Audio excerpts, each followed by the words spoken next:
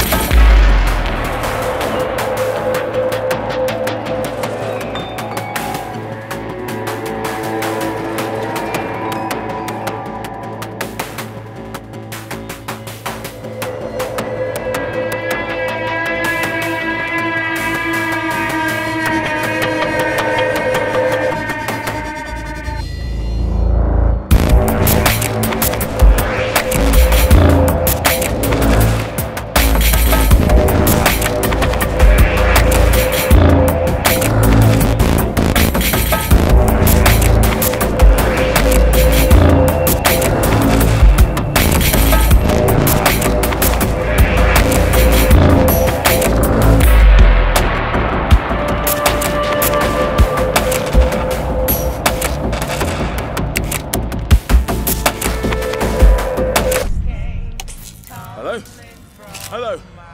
Dr. Reed? You there? Thank God! What happened? We can swap stories later. Listen, I'll be bringing a group of us. I'll be in touch. Okay. It's vital you stay alive. Glad you agree. Okay, I've got to bounce. Later, Doc. Right.